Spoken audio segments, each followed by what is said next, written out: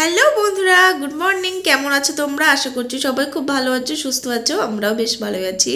তো আজ হচ্ছে বৃহস্পতিবার, আর বৃহস্পতিবার যেহেতু তো হাজব্যান্ডের সকাল সকাল ডিউটি থাকে, ও আজকে না খেয়ে চলে গেছে। আর বৃহস্পতিবারে বাবু সকাল সাতটা থেকে পড়া, বাবু পড়তেও চলে গেছে, আর আমি এখনও বিছানা টিছানা কিছুই তুলিনি। কেমন যেন শীত শীত লাগছে, কাজে এনার্জি লাগছে না। তো এই জন্য আবার একটু শুয়ে পড়লাম বিছানার বিছানাটা এখনও এলোমেলো অবস্থায় পড়ে আছে, দেখো। কিচ্ছু করিনি, কিচ্ছু না। তো বিছানাটা তুলবো, শ্বশুর শাশুড়ির ঘরে বিছানাটা তুলে দিয়ে আসলাম। আমার বিছানাটা তুলবো, আর ওদিকে শাশুড়ি রান্না করছে, সবজি টবজি সব কেটে দিয়ে আসলাম। আজকে রান্না হবে ও হ্যাঁ আলু দিয়ে, রুই মাছের, আর কি মশলা দিয়ে মাংসের মতো রান্না হবে কালিয়া। আর হবে কি যেন উচ্ছে ভাজা, সর্ষে বাটা, আর হবে ধনেপাতা বাটা। তো এটাই তো চলো ঝটাপট উঠে পড়ি, বৃহস্পতিবার লক্ষ্মী পুজো করতে হবে, ঘরটর মুছতে হবে। তো এখন উঠবো, বিছানা টিছানা তুলবো। তুলে যদি টাইম থাকে, বিছা, ঘরটা এখনই মুছে নেব। আর যদি টাইম না থাকে, বাবু যদি চলে আসে, ওকে খাইয়ে রেডি করিয়ে আবার স্কুলে পাঠিয়ে দিতে হবে। তারপর আমার যত সব কাজ আমি সারবো নিশ্চিত নিশ্চিন্তে। তো চলো, উঠে পড়ি। আর হ্যাঁ ভিডিওটা স্কিপ না করে পুরো ভিডিওটা কিন্তু দেখো। বাবা গো, শীতে উঠতে ইচ্ছা করে না। উফ, তো চলো বিছানার হাল দেখো।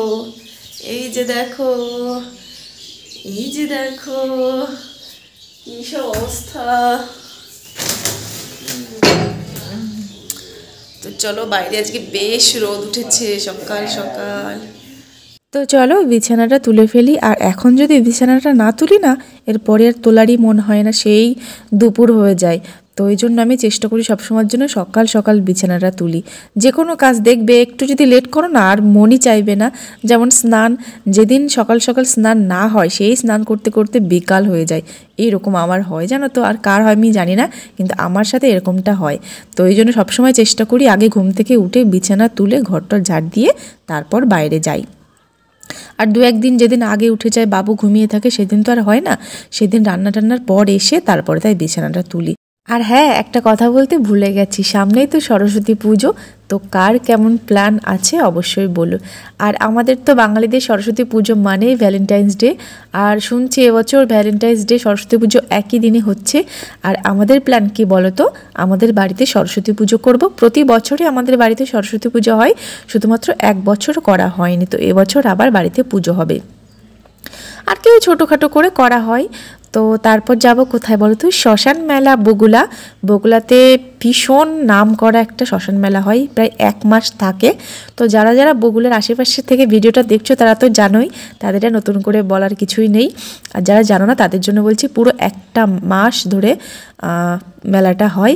আর একান্নটা মানে মায়ের মূর্তি থাকে, ঠিক আছে? আমি অতটা জানি না, কিন্তু একান্নটা মায়ের মূর্তি থাকে, ঘুরে ঘুরে দেখতে দেখতে মেলা শেষ। তারপরে এত বড় মেলা মানে কি জিনিস চাই তোমার? কাচের জিনিস, খাওয়ার, দাওয়ার কসমেটিক্স স্বাদের জিনিস, কানের মানে চোখ ধাঁধিয়ে যাবে, এত বড় মেলা।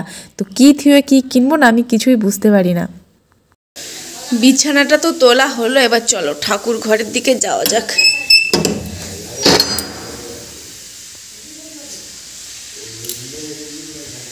আজ বৃহস্পতিবার, তো মা লক্ষ্মীকে একটু দর্শন করে নাও। আমার ঠাকুরকে, আমার সোনা ঠাকুরদের। তো চলো ঠাকুর ঘরের জানলাটা খুলি। সারা রাত।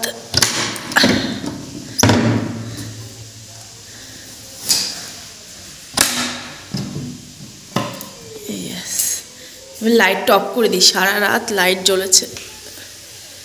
ব্যাস। এবার চলো, বাইরের কাজকর্মগুলো সারা যাক। বাবু প্রাইভেট থেকে বাড়িতে আসলো, তারপর ওকে আমি খাইয়ে দিলাম, খাইয়ে রেডি করাচ্ছি, এক্ষুনি নিয়ে যাব। আর আগে গাড়িটা একটু লেট করে আসতো, কিন্তু এখন আবার খুব তাড়াতাড়ি চলে আসে। সাড়ে নটা থেকে নটা চল্লিশের মধ্যে চলে আসে, ওই জন্য না আমার খুব তাড়াহুড়ো হয়ে যায়। তো দেখো, আমি ওদিকে রেডি করাচ্ছি আর ওর পেন নিয়ে হাতে কী সব উল্টোপাল্টা লিখে বেড়াচ্ছে। আমি ওকে বলছি, লিখিস না, স্কুলে গেলে স্যার ম্যামরা দেখলে বকবে। ও তখন বলছে যে, বকুক, বকলে আমি বাড়িতে চলে আসব। আমি তখন বলছি যে, বাড়িতে আসবে তাহলে তোমাকে কিসের জন্য পড়ানো হচ্ছে? কিসের জন্য স্কুলে দেওয়া হচ্ছে? ও তখন বলছে, না মা, তাহলে আমি আর লিখব না। তাহলে আমাকে যদি স্কুল থেকে তাড়িয়ে দেয়, তাহলে আমি বড় হয়ে আর চাকরি করতে পারব না। এরকম কথাবার্তা বলে। তো এই যে দেখো, বাবুকে নিয়ে যাচ্ছি স্কুলে। বাবু পুরোপুরি রেডি আর আজকে পাঁচ মিনিট আগেই যাচ্ছি কেন বলো তো আজকে বাড়ি থেকে টিফিন কিছু বানিয়ে দিইনি। একটা ডিম সিদ্ধ দিয়েছি, কটা আঙুর ফল দিয়েছি, আর দোকান দিয়ে একটা কেকের প্যাকেট কিনে দেবো ওটাই। কালকে এরকম এগ রাইস বানিয়ে দিয়েছি, খাইনি। আজকে ভাবলাম কিছুই দেবো না। একটা ডিম সিদ্ধ দেবে, একটা কেক দেবো, আর আঙুর ফল দেবো, তাতেও পেটটা ভরে যাবে, বাড়ি এসে তোমার ভাত খাবে, তাই না? তো যে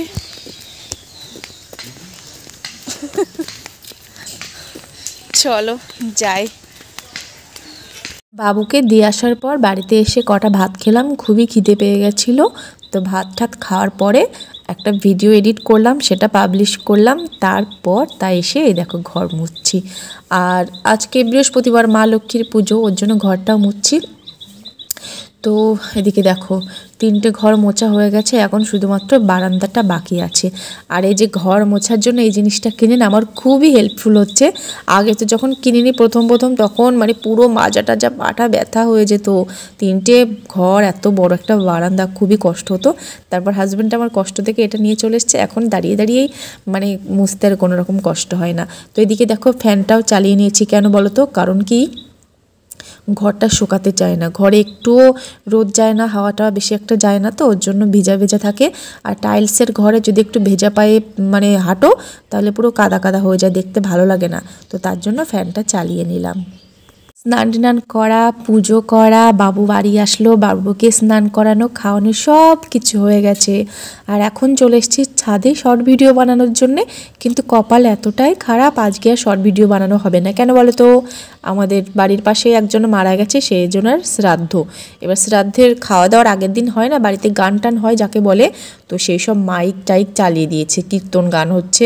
আর ছাদে তো প্রচুর পরিমাণে আওয়াজ আসছে, ওর জন্য আজকে একটাও ভিডিও হবে না। তো খুবই মন খারাপ লাগছে, এখন আবার দুটো চ্যানেলে ভিডিও ছাড়ি। ভিডিও যদি বেশিক্ষণ মানে বেশি না করে রাখি না, তাহলে কোনটাতে কি ছাড়বো কিছুই বুঝতে পারছি না। আমার খুবই চাপ হয়ে যায়। আর বেশি করে হাতে ভিডিও থাকলে না কোনো রকম সমস্যাই হয় না, পুরো নিশ্চিন্তে থাকতে পারি। তো যাই হোক কি আর করা যাবে বলো? তো আজকে আর করা গেল না, কালকে বেশি করে করে নেব। তো এদিকে দেখো, এখন দাঁড়িয়ে দাঁড়িয়ে কুল খাচ্ছি। আর আমাদের গাছের কুলগুলো কি সুন্দর হয়ে গেছে, জানো এই যে দেখো, পেকে পুরো লাল লাল হয়ে গেছে। আর সব কুলগুলো ঝরে ঝরে নিচে পড়ে যাচ্ছে, জানো না? তো কি করব? নিচে থেকে কুড়িয়ে তারপরে ছাদে শুকাতে হবে। শুকিয়ে সারা বছর ধরে কুলের আচার বা কুলের গুড় দিয়ে করে না, কি যেন একটা কুল ঢেকিতে গুঁড়ো করে তারপরে গুড় দিয়ে পাকিয়ে কি একটা বলে যেন বেশ ভালোই লাগে, টকটক মিষ্টি মিষ্টি তো ওগুলো সব বানাতে হবে। তো এদিকে দেখো, ভিডিও তো বানাতে পারলাম না। ঘরে এসে আমি আর বাবু মিলে শুয়ে পড়েছিলাম। আমি তো কিছুক্ষণ ঘুম থেকে উঠে পড়লাম আর বাবু তো এখনও ঘুমিয়ে যাচ্ছে। তো ঘুম থেকে উঠে কি একটা যেন খাওয়ার মন হচ্ছিল, কি খাব কি খাব? তারপরে ভাবলাম, বাড়িতে তো পাস্তা আছে, তাহলে পাস্তা বানাই, ভেজ পাস্তা। পেঁয়াজ, রসুন, আদা, তারপরে গাজর, মটরশুঁটি দিয়ে ঝাল ঝাল করে পাস্তাটা বানাই। তো ডিম যেহেতু ঘরে ছিল না, ডিমটা দেওয়া হয়নি, কিন্তু ডিম ছাড়াই বেশ ভালো লেগেছিল। যেন আমার শাশুড়িকে দিয়েছিলাম আজকে, বলল খুব সুন্দর হয়েছে। এর আগে একদিন বাবুর জন্য বানিয়েছিলাম, সেটা বলল অতটা ভালো হয়নি, কিন্তু আজকেরটা আরও বেশি ভালো হয়েছে। তো এক কেজি পাস্তা এনে রেখেছিলো বাবুর টিফিনের জন্য, ওকে মাঝে মাঝে টুকটাক করে দিই। আর আমাদের যেদিন মন চায় একটু খাওয়ার, সেদিন বানিয়ে খাই। আর বেশি নেই, প্রায় এক দুদিন মতো হবে, তো তারপরে ফুরিয়ে গেলে হাজব্যান্ডকে বলব আবার এক কেজি এক প্যাকেট নিয়ে আসতে। তো চলো, পাস্তাটা আমার হয়ে গেছে। আর এখন থালাতে বেড়ে নিয়েছি, বেড়ে শাশুড়িকে কটা দিয়েছি। আর আমি আর আমার হাজব্যান্ড এই যে থালাতে নিয়ে বসে আছি, এখন তুলে তুলে খাব। তো যেই না একটু মুখে দিলাম কি দারুণ হয়েছে গো। হালকা হালকা ঝাল ঝাল, হালকা হালকা মিষ্টি মিষ্টি গাজরের ক্রাঞ্চি ভাবটা রয়েছে, গাজরটা মুখে পড়ছে, আর মিষ্টি মিষ্টি লাগছে, আর ম্যাগি মশলা ছেটানো আছে, খুব সুন্দর হয়েছে। তো চলো আজকের ভিডিওটাই পর্যন্ত।